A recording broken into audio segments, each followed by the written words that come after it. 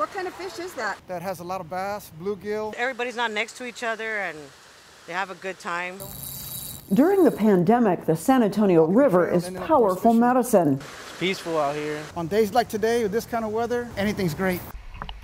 But there's a problem. Those suckerfish are like a bottom dweller. They call them suckerfish or armored catfish. Plecostomus is the proper name.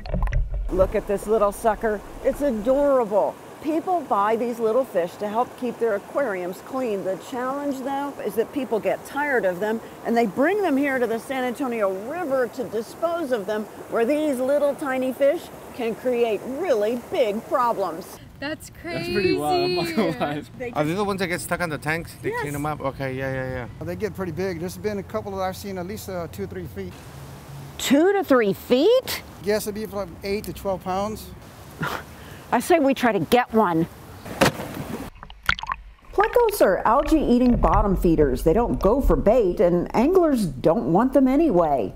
I don't see anybody keeping them. I wouldn't try it. So I don't know. Maybe somebody else might.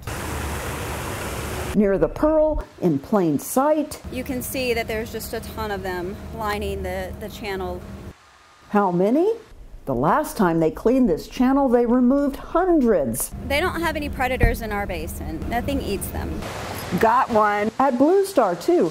Wee doggies! They're easy to spot, and so is the damage they cause. They can wreck the riverbanks. They burrow into the banks. If they continue doing that in certain reaches, that will just continue the erosion and the instability of the bank.